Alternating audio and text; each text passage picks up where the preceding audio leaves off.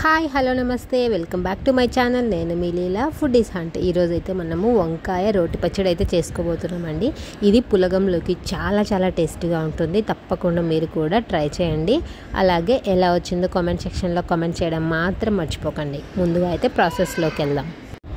కడాయి అయితే తీసుకోండి. ఆ కడాయిలోకి టూ టేబుల్ స్పూన్స్ దాకా ఆయిల్ అయితే తీసుకోవాలి. కొంచెం పోపు వేసేసుకొని కొంచెం కరివేపాకు వేసేసుకొని మీడియం సైజులో కట్ చేసుకున్నటువంటి నాలుగు ఆనియన్స్ అయితే తీసుకున్నానండి. నాలుగు ఆనియన్స్లోకి సుమారు ఒక పది దాకా పచ్చిమిర్చి తీసుకోవాలి. కొంచెం స్పైసీ ఉంటేనే ఈ చట్నీ అనేది చాలా బాగుంటుంది. టేస్ట్ కోసం నాలుగు వెల్లుల్లి రెబ్బలు తీసుకున్నాను. ఇది పూర్తిగా ఆప్షనల్ మీకు నచ్చితే వేసుకోండి లేదంటే లేదు. కొద్దిగా హాఫ్ సైజ్ నిమ్మకాయ సైజ్ అంతా చింతపండు అయితే తీసుకున్నాను. అలాగే సన్నగా కట్ చేసుకున్న రెండు టమాటాలు సన్నగా కట్ చేసుకున్న నాలుగు వంకాయలు అయితే తీసుకున్నానండి. ఇక్కడ ఆనియన్స్ వంకాయలు ఈక్వల్గా తీసుకుంటేనే మనకి ఫ్లేవర్ అనేది చాలా బాగుంటుంది. దీన్ని కలుపుతూ ఒక ఫైవ్ మినిట్స్ దాకా చిన్న మంట మీద మగ్గించుకోవాలి.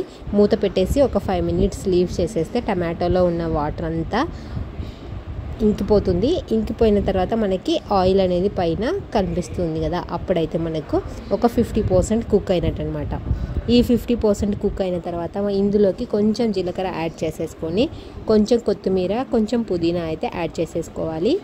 ఇది కూడా టేస్ట్ని అయితే రెట్టించేస్తుంది. మూత పెట్టేసుకొని ఒక టూ మినిట్స్ మగ్గించుకొని స్టవ్ ఆఫ్ చేసేసుకుంటే పూర్తిగా చల్లారిన తర్వాత మనము దీన్ని రోట్లో రేముకుంటే సరిపోతుందండి.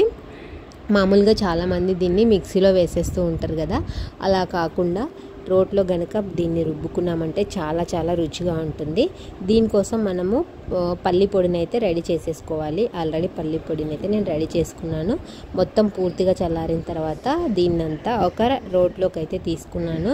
ఇది మరీ మరీ చెప్తున్నాను రోట్లోనే చాలా టేస్ట్గా ఉంటుందండి. అక్కడక్కడ ఆనియన్స్ టమాటోస్ పచ్చిమిర్చి తగులుతూ మనకి ఫ్లేవర్ అనేది చాలా బాగుంటుంది. ఇది పులగంలోకి చాలా బాగుంటుంది. మా నార్మల్ రైస్ కంటే కూడా.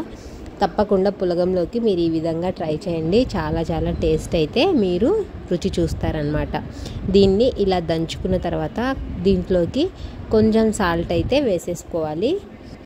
చాలా తొందరగా అయిపోతుందండి. నేను తీసుకున్న రోలు డిస్క్రిప్షన్లో కూడా ఇస్తాను. ఎవరికైనా కావాలనుకుంటే కింద అమెజాన్లో లింక్ అయితే ఇస్తాను. తప్పకుండా పర్చేస్ చేసుకోండి. నాకైతే ఈ రోలు చాలా చాలా యూస్ఫుల్ అయింది. మనం ఎక్కడికైనా దీన్ని తీసుకొని వెళ్ళొచ్చు అనమాట ఇక్కడ ఫైనల్గా మనము టూ టేబుల్ స్పూన్స్ దాకా పల్లి పొడిని అయితే తీసుకున్నాము. మీ చట్నీ క్వాంటిటీని బట్టి పల్లి పొడిని అయితే చూసుకొని యాడ్ చేసేసుకోండి. పల్లి పొడి ఎక్కువ అయింది అంటే టేస్ట్ అనేది కొంచెం డిఫరెంట్గా అవుతుంది. సో చూసుకొని కొంచెం కొంచెం యాడ్ చేసుకుంటూ అయితే దంచేసుకోండి ఫైనల్గా మనకు చట్నీ అయితే ఆల్మోస్ట్ రెడీ అయిపోయిందండి. నాకైతే మాత్రం చాలా చాలా టేస్టీగా అనిపిస్తుంది. దీంట్లోకి ఎలాంటి పోపు కానీ ఏమీ అవసరం లేదు. ఇలాగే మనము ఒక బౌల్లోకి తీసేసుకొని దీన్ని అయితే మనం డైరెక్ట్గా రైస్లోకి కొంచెం నెయ్యి వేసేసుకొని తీసేసుకోవచ్చు. లేదు అంటే పులగం కాంబినేషన్ చాలా బాగుంటుంది. పులగంలోకి అయితే ఇంకా ఇంకా బాగుంటుంది అనమాట తప్పకుండా ఈ వీడియో మీకు నచ్చింది అనుకుంటున్నా thank you so much for watching. Thank you.